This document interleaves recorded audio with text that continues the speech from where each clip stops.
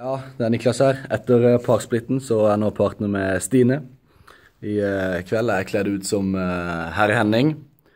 Og det blir en riktig så god fest.